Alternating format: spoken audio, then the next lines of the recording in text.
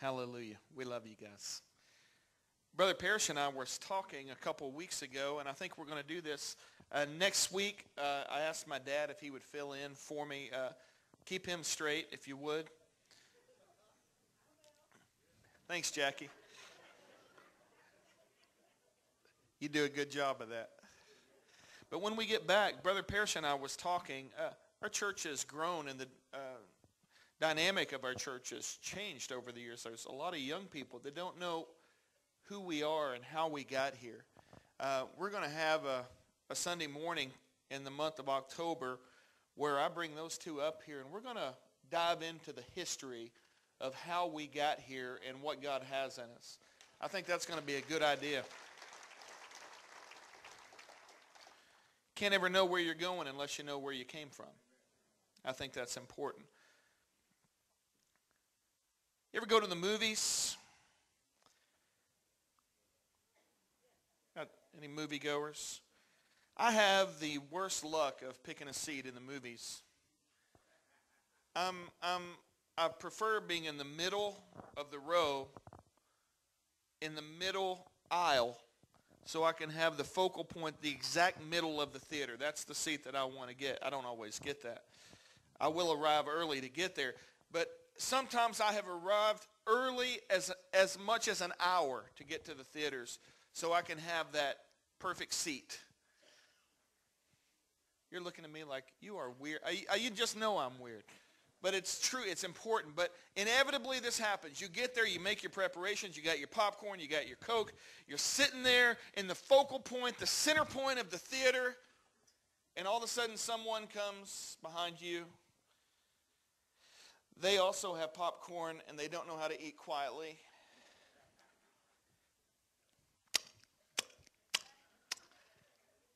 You know, you give the little half turn and the eye roll like, what in the world? You know, any more than that, you're, you're in danger of a busted lip, you know. Like, and then apparently they have just filled their purse with candy from Walmart and I don't know why candy has to come in cellophane wrappers. It's the loudest thing that you've ever imagined. All for one M&M. Like, oh my gosh. And you're in the movie and you hear that they're trying to pull it out quietly, but there is no such thing as quietly eating candy in the movies. It's going to make noise. Someone needs to invent something to stop that. And you're trying to focus the movie. I have missed entire movies because it gets my attention. Is anyone else that bothers you? You can't focus if that's going on around. Let's be honest. We're having a help group this morning. You cannot focus if that's happening around you. Is there anybody that said that? I never even noticed that. It doesn't bother me at all. You guys are saints, and I honor you this morning. It's distracting, is it not?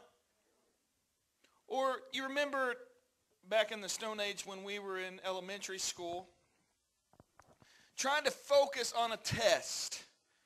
I, I enjoyed tests. I always hated taking, having to write papers, but tests I enjoyed. But you always sat by that one person. You're trying to focus. You're reading. You're going over. You're checking. You're double checking. You're getting you. And you got that one guy just looking there. He's.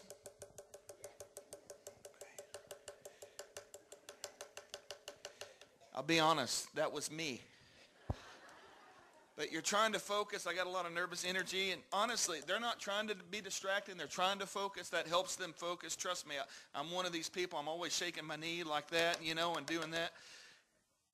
It's so distracting. How in the world can I take a test if, if someone is doing that? Or you ever see a basketball game, a college basketball game, and the end zones of the, of the gymnasium is always filled with the student section. Am I right? And the team gets up there, they're trying to focus, and if you see the rear camera focusing, are they going to make it? All you see is this mass hysteria. People, ah, ah, ah, you know, they're jumping. I know that's a terrible imitation, but that's what they're just going crazy. Why? Because they're trying to distract the shooter from focusing. Distractions. That's what I want to talk about this morning. Life is full of distractions. And I gave three examples. There are so much more. There's so many things that distract us in life. There's the cell phone while you're trying to drive or while you're trying to listen in church. Some of you are on Facebook right now. That does not offend me at all, but I understand you're, you're doing that. When you're driving, beep, beep, you pick up the phone. It's like you're supposed to focus on the road. Don't look at your phone while you're driving. It's a distraction to keep us from doing what we're supposed to be doing. This morning, I want to talk about distractions in Christ. Things that keep us off focus from living the life and doing what we are supposed to be doing. I'm telling you, there is a destination that God has for us as believers. There's a destination he has for us as Christian Fellowship Church. And I'm going to give you two options this morning. We can live in the land of constantly being distracted and not being able to get to where God wants us to be. Or we can lay those distractions aside and we can jump just head over feet into the destinies of God and forget those other things. There's two distractions that I see that are going to keep us, and man, they just, it's like a prison cell. It keeps us from focusing on what God has for us to do over this last year, it's been a long journey as we've traveled through the book of Acts. This morning will be the last, won't be the last sermon I ever preach out of Acts, but it's the concluding sermon in the series on the book of Acts. Acts chapter 28. We see that Paul is on his way to Rome. And it's been a tough journey. Man, they arrested him. He went from Felix to Festus to Agrippa, given a defense. He finally appealed to Caesar, and he's going to Caesar. And would you believe that he gets shipwrecked? That's what we talked about last week, shipwrecked in life. He's shipwrecked, and God saved all their lives, and they wash up on this little island called Malta. I'm going to read the first 10 verses, and then we're going to go back and kind of break it apart. After we were brought safely, we learned that the island was called Malta. The native people showed us unusual kindness, for they kindled a fire and welcomed us all, because it had begun to rain and was cold. When Paul had gathered a bundle of sticks and put them on the fire, a viper came out because of the heat and fastened on his hand. When the native people, anybody in here actually like snakes? Thanks, Devin. Got a couple. I see they're all young. Oh, Mike Muller, thank you. Sarah, okay. I don't think anyone likes a snake hanging off your hand, though. Okay, just checking. I'm sorry, I'm not a snake lover at all. I don't like snakes. The only good snake is a dead snake, in my opinion. I'm sorry. Sorry. See PETA out there with their sons, you know. When the native people saw the creature hanging from his hand, they said to one another, No doubt this man is a murderer. Now, I'm going to start preaching if I don't stop here, but that's frustrating to me. If you see somebody who's been bitten by a poisonous snake and it's still on their hand, it's not the time to point and laugh and call names. No one said, hey, bro, are you okay? I mean, that's wonderful. You've been snake bitten. It's hanging off your hand. Nobody says, are you okay? They start calling him names. Thank you. Though he had escaped from the sea, justice has not allowed him to live. Wonderful. Just wonderful. He, however, shook off the creature into the fire and suffered no harm.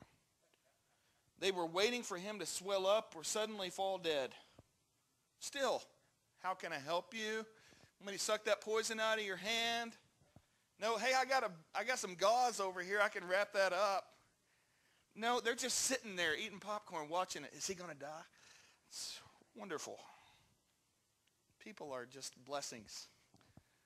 They were waiting for him to swell up or suddenly fall down dead. You remember that movie Pure Luck in the 80s with uh, Martin Short? He got bee stung and he swelled up to like, it was awesome. He had waited a long time, and when no misfortune came to him, they changed their minds. And they said he was a god. Okay? Now, in the neighborhood of that place were lands belonging to the chief man of the island named Publius, who received us and entertained us hospitably for three days. It happened that the father of Publius lay sick with fever and dysentery. And Paul visited him and prayed, and putting his hands on him, he healed him. And when this had taken place, the rest of the people on the island who also had diseases came and were cured. And they honored us greatly when we were about to sail. They put on board whatever we needed. Let's pray. Father, as we come before you this morning, Lord, just bring a clarity of, of thought this morning. Lord, silence our spirits this morning where we can hear what it is you have for us to hear. Lord, I believe you've got a mission, you've got a purpose, and you've got a destiny on each one of us individually. And you've got a purpose on us as a church. And Lord, I pray this morning that we would see the distractions for what they are. Distractions. And they're keeping us from fulfilling our purpose. Lord, this morning, I want your will to be done and I want your kingdom to come. Lord, and I want to decrease and get out of the way and let you just have your way in this place. In Jesus' name I pray. Amen. Here's Paul. Shipwrecked on an island. I'm telling you, this is a bad day. He's been shipwrecked. He's been on the ship, we know, for 14 days, and all these things. They threw the tackle overboard. They threw the the cargo overboard and uh, they threw their hope overboard. We talked last week. They ended up throwing their food overboard. And the ship finally breaks apart. But God had spoke to him that not one life will be lost. And it wasn't. And they're sitting out there floating in the water on pieces of driftwood and pieces of the broken ship. And they all wash up on this island, and God kept his word. All of them lived and they're sitting there, and what's the first thing you got to do? I mean, you've seen Castaway. You know you got to get a fire going. I mean, is that not right? You got to have heat. You got to have fire to cook stuff. You remember when Tom Hanks made that fire in that movie, and you know, fire! I've made fire. Paul's out there. He's rubbing sticks together. He's trying to build a fire. They've washed up on a on an island. And Paul didn't sit around in depression and discouragement thinking, why, oh me, is this happening? He didn't start singing, nobody knows the trouble I've seen. Nobody knows my sorrow. No. He got up on the land and he said, guys, I'm going to build a fire. And he started picking up sticks, and the snake latches onto his hand. Paul threw it into the fire. I can also tell you, I would have killed the snake as well. Latches on his hand. That is a bad day. To go from in a ship that's being tossed to and fro to broken up to sitting on a piece of wood like Leo DiCaprio and Titanic, just holding on. Don't let go. And they wash up on Malta, and everybody lives. And then he says, I'm going to build a fire, guys. And then a snake latches onto his hand. Anybody ever in that place, you just feel like, God, what gives? Have I done something to offend you? What's the deal with this? What's wrong? Why is all of this happening to me?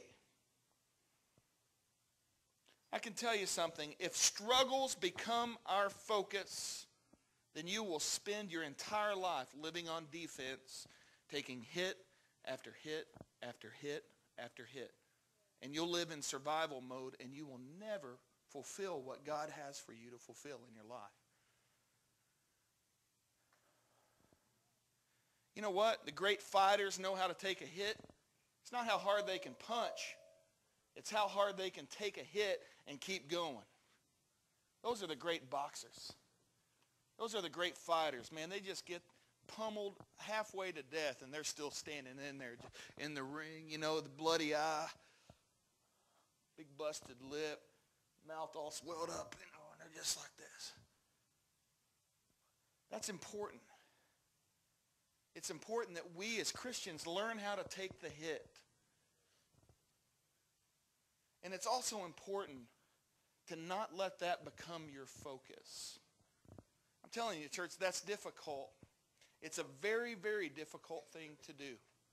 Whenever you're in the middle of a struggle, and man, I'm not on you because I've got my own struggles too. But your struggle cannot become your identity. It can't become your life. There's some of us, we don't even know how to see past our own struggles. It just has hurt so much that that's all that we can see in the face. Just hit after hit after hit. Let me tell you what that is. It's a distraction to keep you from what God has for you in your life. And if we will focus on that, then there will always be a distraction in front of you. That's why things like bitterness and grudges that we hold against people, they might have genuinely hurt you. I'm sure they did. But if you don't let it go, it's a distraction from what God has for you in your life. All these attacks from the evil one, we know he shoots his fiery darts. Disease, offense, unforgiveness, hurt, pain. All of those things are distractions, and it's not supposed to become our focus. Notice what Paul did, guys. He took the snake, he shook it into the fire, and he went on about his business. He did not start Snake Biters Anonymous. I'm going to start a support group in the church for those that's been bitten by snakes. And we're going to focus and look at this suffering hurt for the rest of our lives so we can just stare at it. No, it's a distraction. I'm not against support groups. This is not an anti-support group sermon. But I'm against that becoming your identity. Paul didn't get a shirt that said, I got bit by a snake and all I got was this lousy t-shirt. That didn't become his focus. He threw it into the fire and he went on. Notice what else he didn't do. When he's got this snake bite on his hand, and people are like, hey, murderer. He didn't say, oh, no, I'm not. I'm Apostle Paul, dude. I am the man of God. How dare you, sir? Who do you think you are? I am called of God. Have you not heard of Damascus Road? That was me, bro. You're talking against the wrong person. How dare you?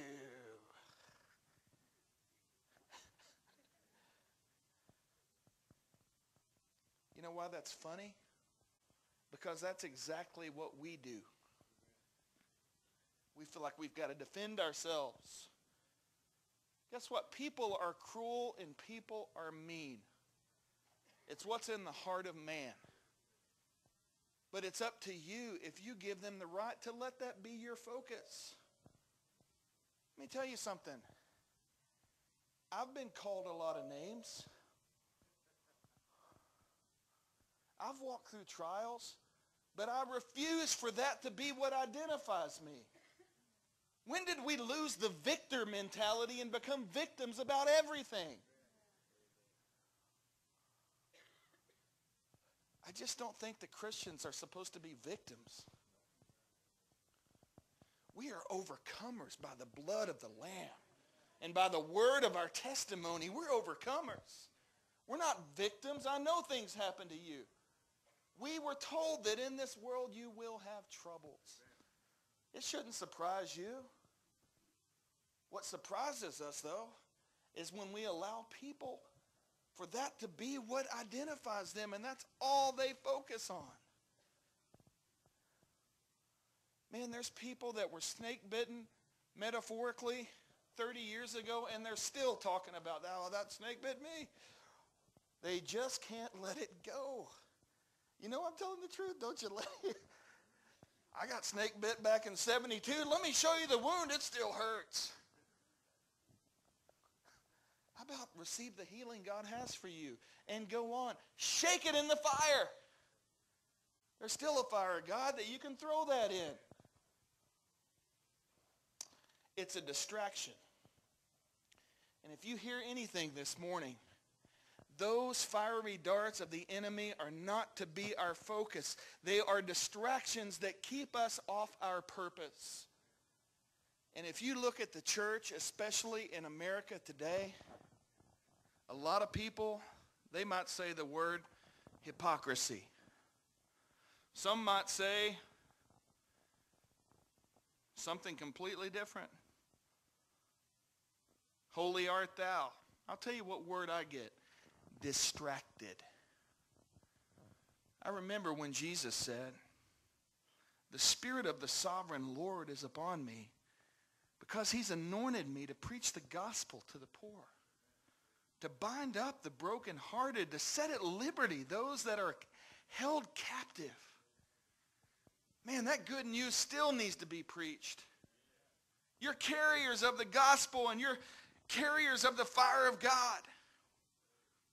But we forget that because we keep focusing on the snake bite. Somebody needs to hear this this morning. Throw it in the fire. Take the snake that's attacking you and your family and your church and everything that you're going through.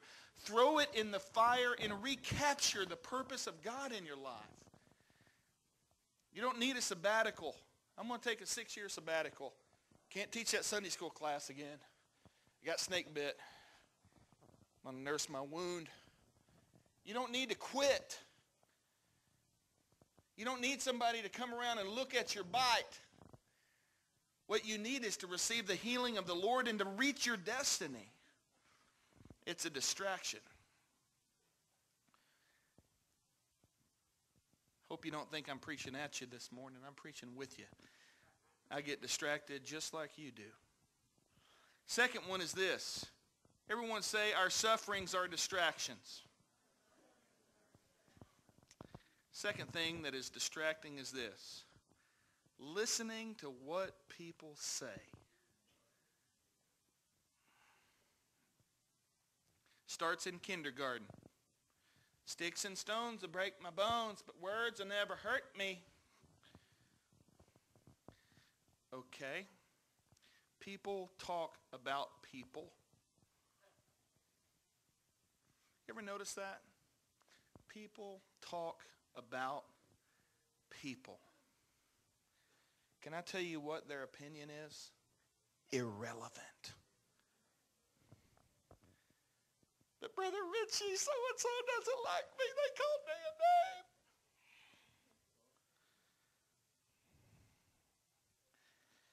I'm so sorry. I'm so sorry you've been called a name at least once in your life. I've been called a lot of names. So was Paul. And I want you to look. Here's why it's irrelevant. Because people change. Paul got bit by a snake, and instead of offering help, they stood back like they do and called him a name. Murderer! This is one just horrible person. Stay away from Paul. He'll give you cooties. He's a murderer. He's a murderer. He survived shipwreck, and we're standing there in the woods looking at him gathering up sticks. I thought he was going to drown out there. I saw that one wave come over him, and that was rough. And then he comes and a snake gets a hold of him. Stay away from that guy. He's horrible. He's a murderer. I think the appropriate thing, hey guys, saw y'all wash up. Can we help in any way? No. Murderer. Why do people do that? Because people are full of hate and hurt and words. I think it'd be really good practice. This is not part of the sermon, but this is free of charge. Be a great practice in your life and my life if you never uttered one word about a person that you wouldn't say straight to their face in love.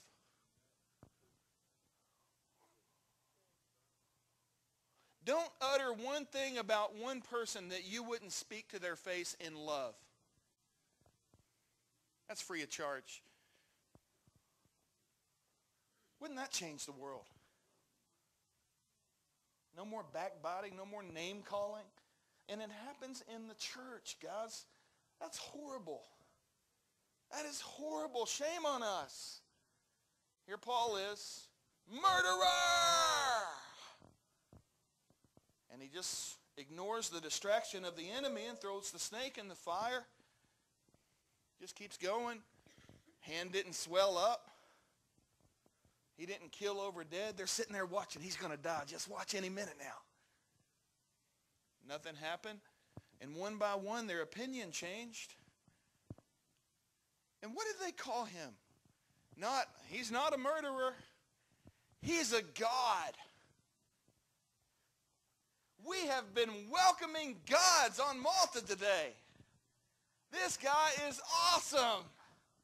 I saw him wash up. This, the wave came over him out there on a piece of driftwood. I didn't help him or anything, but I saw that come over him. And then I saw him get snake bit. I didn't help him there either, but I just watched. We're waiting for him to die, just waiting. And he didn't die. This guy's a God. People's opinion about you will change. It's not to be our focus. It's a distraction. And you know what? It goes both ways. When they're calling you names and degrading you, it means absolutely nothing. Scott said something to me this last week I appreciated. Was telling him about a phone call I got, and he said, does that edify you? And I said, no. He said, then throw it in the trash can. I said, amen, brother. Hallelujah. Wad it up, throw it right away. That's a good idea. No one's above reproach, uh, reproof. You can always have access to see things. Speak that in love. But look how it turned. It meant nothing when they were calling him a name, but when they were exalting, exalting him and singing his praise, guess what that means? Nothing. See, we are emotional roller coasters. When people are against us, we're way down here. They're calling us murderers. Uh, it just hurts my feelings. I don't have any friends. There's nobody in that church that likes me. Every time I go in there, they give me the stink eye and the evil eye. They don't care if I live or die. I'm not a person. Okay. I don't know what, what that was, but then you can walk in, oh, brother, you are my hero. I love you so much. You are the best thing since sliced bread. And I even think you're better than sliced bread. You are amazing. You are a man of God. And I honor you. They'll change tomorrow. That's why we don't live our life based on what people think about us. We don't base our life based upon what people may say. Trust me, I prefer the compliments over the complaints any day of the week. But that's not what gives me my identity. And it shouldn't be what gives any of us our identity. Our identity comes from Christ and in Christ alone. And Paul had the wisdom that if they call me a murderer or if they sing my praises to the high heavens, it means nothing. I'm a man on mission with God. And I'm telling you, that's what's important. Everything else is a distraction. Everything. That's the mission of the church. And actually, when they're up here singing your praises, you better watch out. They either want something, they probably want something. And I'll tell you another thing I try to live. This is just a bunch of free advice today. Man, you, this is the best deal in Marshall County today. Here's a good piece of advice too. If people come to you saying, you know what, Rose here, she's a murderer. Watch out and mark that person because they will speak behind your back just like they did to that person. Mark them and watch out for it. No, they're my friend. No, they're gossips. And if they'll do that to somebody else, they'll do it to you. Watch out for them. It's not your identity anyways. Paul went through the murderer, the God thing. That was a distraction, and he didn't give that any focus whatsoever. Some people been living in the land of, he called me a murderer for 20 years, and it's time to let it go. Your identity is in Christ. So, Richie, what is important? I'm glad you asked that question because that's the thrust of my sermon this morning. Sufferings, distraction. People, distractions. Hurtful words, praise, they're distractions. What should your focus be? Jim Crick gets this. I've heard him say this a thousand times. Focus on lost and hurting people. I'm telling you guys, God has great things in store for Christian Fellowship Church. I want you to look what happens. Paul didn't start Snake Biters Anonymous to nurse his wounds. He didn't start getting his feelings hurt because people called him a murderer. He didn't get exalted when they called him a god. What did he do? He did what he's done all along. Verse 7, in the neighborhood there was a man named Publius. His father was sick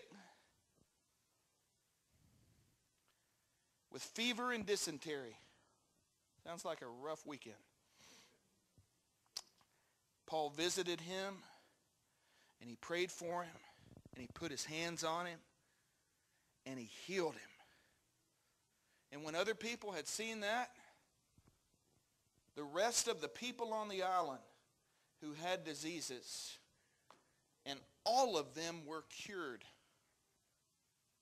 This isn't Jesus. This is an apostle who received the word of the Lord. Want you to notice this. This is one of the greatest truths in this story. God used a snake-bitten hand to bring healing to an entire island. Wow, look at that. A snake-bitten hand he used to lay hands on sick people, and every one of them were healed. Well, Richie, I'm not ready for ministry. I'm still hurt. God used a snake-bitten hand to bring healing, and he can use you and your hurt to get to where God wants you to be. He can use you though people are mocking you, though people are not encouraging you, discouraging you, tearing you down everywhere you go. God can use that wounded spirit to bring healing to a nation.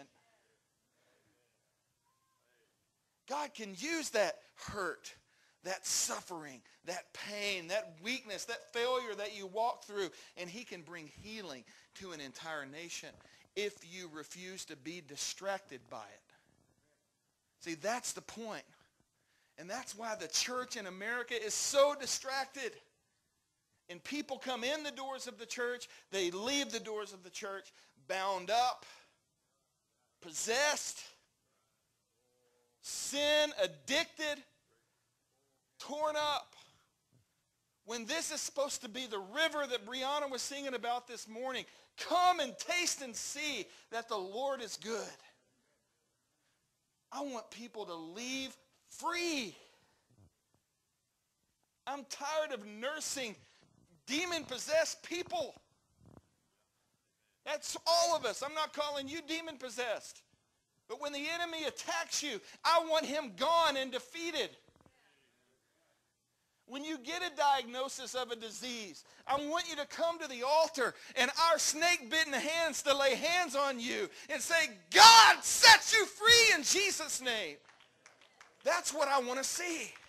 But the church is so distracted by petty, silly, ridiculous things, and we nurse the same spirits for decades, over and over and over again. And I'm telling you, spirits, get out in Jesus' name. You don't have to be perfect. You have to be focused, and you have to be empowered by the Holy Spirit. Stay focused on what God's called you to do, church, and refuse to be distracted by the ignorant attacks of the evil one. Don't think for a minute that the attacks on your life is by coincidence because it's not. He knows when to hit. He knows how hard to hit. And he knows exactly when to strike, to tear you down. His goal is to defeat you. But his greater goal is to keep you from the destinies of God. If he can do that, he can keep a nation in bondage. But if you refuse to give him that access, we can take this nation back for Jesus. We're in trouble. We are in trouble as a nation, guys. We are in trouble as a nation.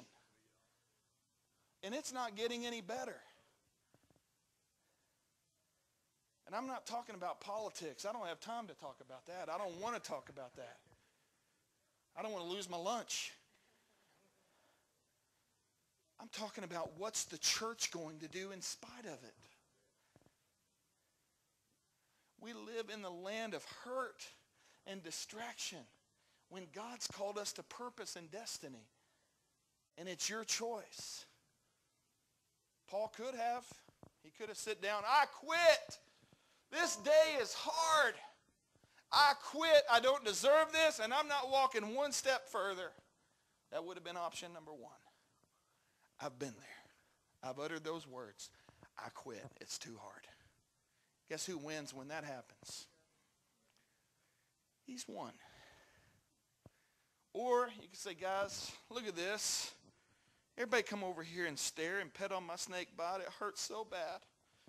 Just like I do anytime I get a hangnail. I need Jenny to love on me. Richie, it's going to be okay. You're going to make it through this. I know, baby. Just pray for me. I wished I was kidding. I'm not. Because I like people to pet on me. I like for people to tell me it's going to be okay. Truthfully, we need to get over it. And we need to learn how to take a punch. And we need to learn how to get rid of those voices that speak in something in your life that God's not saying.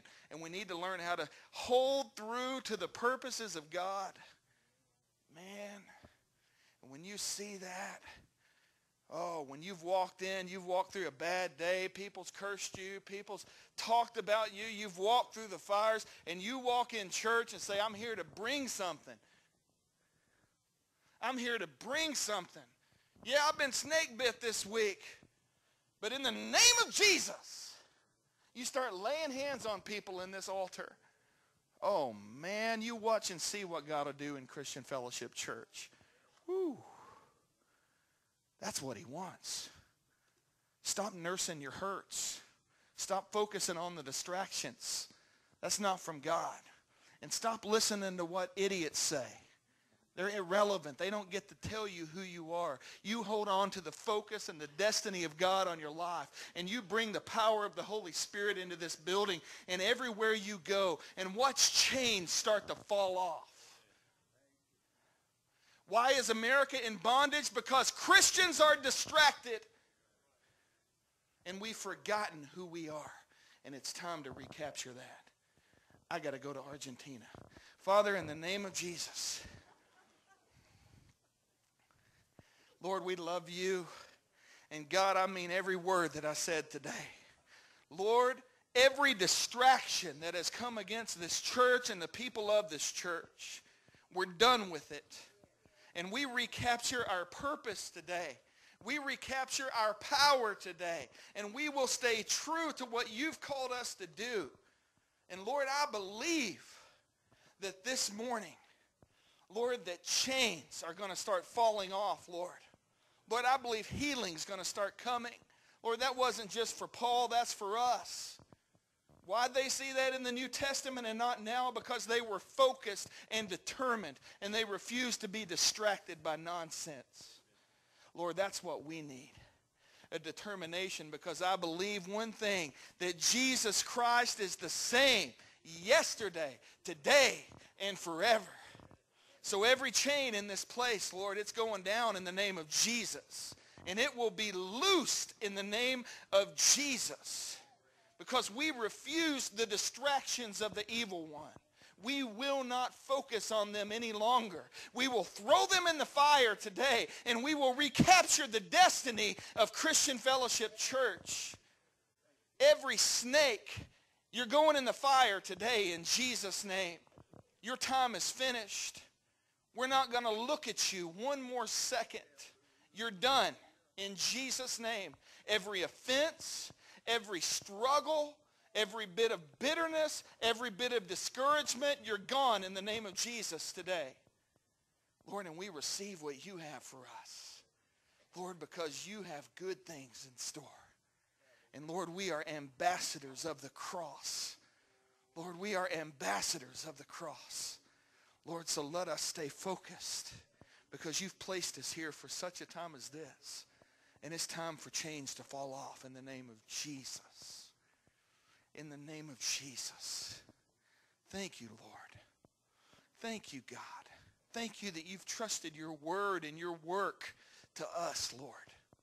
And we repent, Lord, of our distracted nature, Lord. Lord, not just personally, although we do that.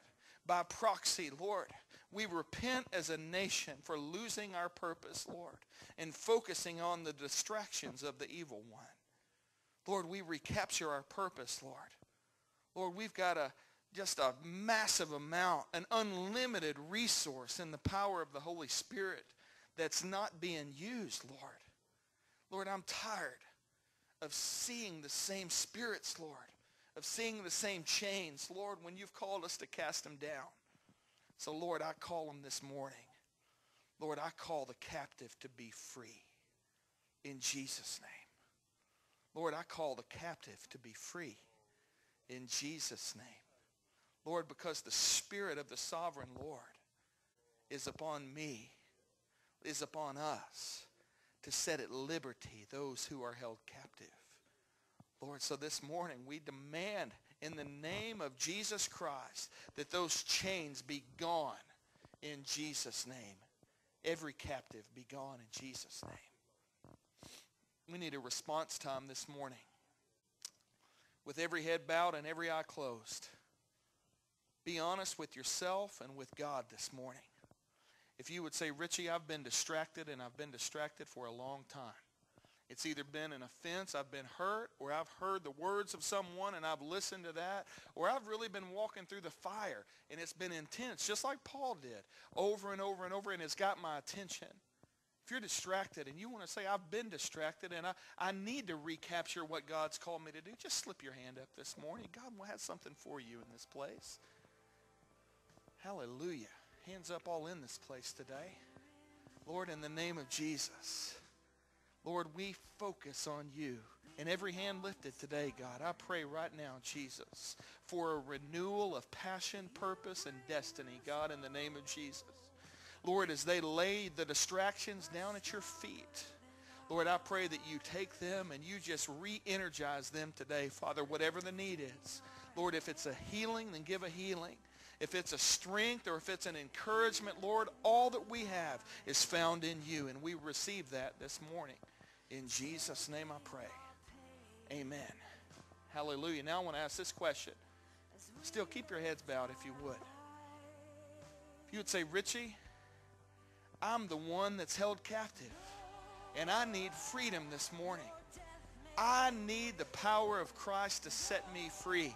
I'm like those on the island that was held in chains, that the word is trying to get to me, but I haven't been able to receive it yet. And I'm held captive. I'm in bondage this morning, and I need to be set free. If that's you, just slip your hand up this morning, right now.